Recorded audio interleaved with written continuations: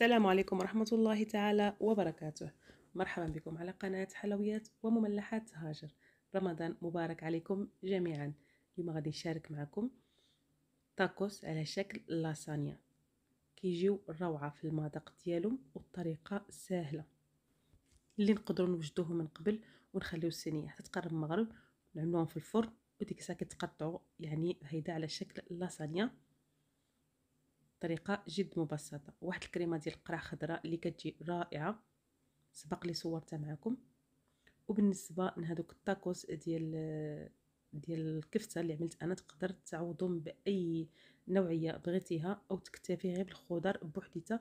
كيجيو رائع. دائما الحشوة كتبقى حسب الاختيار ديال كل واحد واللي موفر عندنا في الدار. وبالنسبة للكريمة سبق لي صورتها معكم تقدر تبدلها القرع حمراء. يعني أو الجعده سبق لي عدت معكم هاد الكريمات هادو. ندوزو بسم الله نبداو على بركة الله. عندنا واحد cazuela عملت فيها الماء. جوج قرعات خضر كبارين.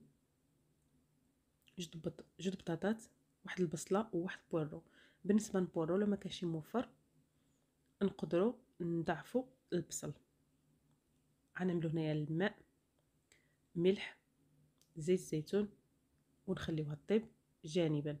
بالنسبة للقرعة خضراء من الأحسن يعني آه، بلا رمضان كنقصد لكم يعني تقدر تقيسها قبل ما طيبها حيت بعض النوبات كتخرج مرة وكتفزدنا لنا الكريمة ديالنا. هنا خليت الكريمة ديالي طيب جانبا وغادي نقص نعدل الحشوة ديال الطاكو زيت الزيتون واحد البصلة مشلضة فلفله حمراء وفلفلة خضراء. نقدروا نستغناو على اللحوم ونقدروا نعدلوا غير الخضر غير شنو قلت زعما تاكل الخضر كيجي رائع بزاف غير شنو هو قطعوا الخضر تكون شرائح طويلة. اي نوعيات الخضر على حسب الذوق ديال كل واحد. هنا عملت صافي زيت زيتون وملح وخليتها سلطيتها يعني حتى تشحرت. الخضر ديالنا وغادي نضيفو الكفتة. هنا كيبقى الاختيار ديال كل واحد تقدر تعوض الكفته بالدجاج تقدر تعوضها بالقمرون أي نوعيات الحوت أو لا تستغني على اللحوم تماما وتستعمل غير الخضر بوحديتها. بالنسبة للكفته أنا ضفت لها ملح إبزار وهذاك ديال القامه ديال التاكوس. وبالنسبه للفلفل استعملت هذا أنا فلفل العقده ديال الفلفل صلصة ديال الفلفل. نقدروا نعوضوها بفلفل أحمر يعني تحميرة. وغنخلي هذيك الكفته طيبنا مع الخضر ديالنا مزيان مزيان حتى تشرب من الماء تماما ما تبقاش فيها الماء. وهنايا غادي نضيف بعد ما طابت الكفته مع الخضر ديالنا أربعة أو ثلاثة ديال المثلث جبن ديال المثلث. هنايا هاد الجبن هذا أنا مع ثلاثة ومن بعد زيد جوج آخرين كيعطينا واحد التعليكة من هذيك الحشوة ديالنا باش كتجي معلكه بالنسبة لهاد الحشوه تقدر تستعملها في في القرينطات في أي حاجة في مملحات بغيتيها. هنا الخضر ديالنا بعد ما عدت الحشوة كانت طابت وحمرت واحد خمسة درسين ديال الثوم في الزيت الزيتون وضفت عليها وغنضيف جبن مثلث حسب الاختيار. اللي ما كيعجبوش الجبن يقدر يستغنى عليه. وغادي نطحن الخضر ديالي مزيان مزيان طحنه في الماكينة حتى كترجع بحال الكريمة. هنا فواحد الكاسويله جانبا عملت زيت الزيتون ثلاثة مغارف كبارين ديال زيت الزيتون ملعقة من الزبدة جوج مغارف كبار ديال الطحين قبيصة ديال الملح حسب الذوق والإبصار. خليتهم حتى آه، دابوا مزيان فوق البوطة. داك الطحين دامج مزيان مزيان مع ديك الزبدة والزيت. عاد ضفت لنا الحليب. كما كتشوفوا صلصة البيشاميل والإبزار. هنايا صلصة البيشاميل نبغيوها تكون عقده شي شوية ماشي بزاف وماشي تكون جارية. أنا بعد ما خلطت صلصة البيشاميل ديالي تأكدوا منا بأنها جات يعني ما تكونش مكورة. هنا صلصة البيشاميل طبعا باش ما تكورش معنا ضروري خصنا نخليو داك الطحين يطيب مزيان مع ديك الزيت وزيت زيت زيتون والزبده وغنضيف هنايا واحد الملعقه كبيرة من هذا الجبن. تقدر تخلي غير بيشاميل هذاك بوحديتو تقدر تضيف له الجبن أي نوعية الجبن بغيتيها نتينا حتى كترجعنا صلصة البيشاميل على هذا الشكل هذا. شبرت fuente اللي غادي نعمل في الفرن الخبز الطاكو وغنحيد شوية من الجوانب باش يجيني قدو قد ديك ال fuente اللي غادي نعمل في الفرن ديالي. غادي نخوي شبرت العبر كما كتشوفوا نخوي شوية ديال صلصة البيشاميل وندهن بها ال fuente ديالي كامل.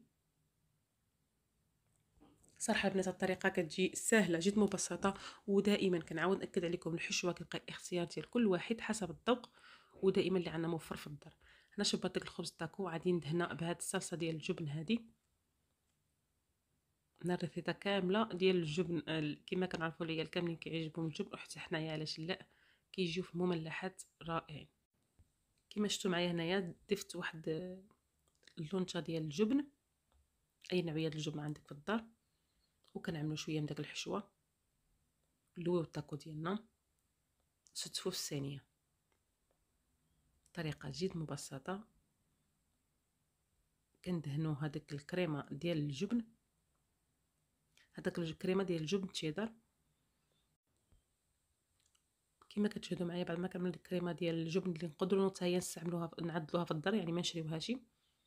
وكنعملوا هذيك ال loncha ديال الجبن ونستمروا في التاكوز ديالنا حتى كنساليوهم كاملين. هذا هو الجبن اللي استعملت أنا اللي كنعمل في وسط التاكو صافي كنستمروا بعد ما كنساليو التاكو ديالنا كاملين. كنشبروا هذيك الصلصة ديال البيشاميل اللي بقاتنا وغندهنوا الوجه ديال التاكو كامل بهذيك الصلصة ديال البيشاميل. بالنسبة لصلصة البيشاميل آه ملي كنعملوا هذاك أي نوعية الجبن يعني عندك موفره في الدار أو اللي كيعجبك كتجي رائعة بزاف المذاق ديالها وأنا كنفضل صلصه البيشاميل زيت الزيتون والزبدة كتجي أفضل من الزبدة بوحديتها. وكيبقى الاختيار ديال كل واحد. بعد ما ساليت خويت داك هذيك صلصة البيشاميل كنعملو الجبن. أي نوعية الجبن غيكون عندك مفروم هذا موزاريلا. صافي نعملوه في الفرن حتى يتحمروا وها الصلصه التاكو ديالنا واجدة. هنا تقدر تزينها بأي حاجة بغيتيها. غنعمل أنا شي شي شوية ديال ديال الشريطات. صلصة ديال البارباكوا. تقدر تخليها غير هيداك صافي نعملوها في الفران وها الصينيه ديال التاكو ديالنا واجدة. كتشوفوا تبارك الله ما شاء الله كتجي رائعة بزاف. والمذاق يا سلام! كنتمنى فيديو اليوم ينال الإعجاب ديالكم. شكرا بزاف على المتابعة. وكنشكر الناس اللي سقست عليا في انستغرام على الغياب ديالي. كنعتذر بزاف بزاف. نتلاقاو في فيديو القادم إن شاء الله. والسلام عليكم ورحمة الله. دمتم في رعاية الله.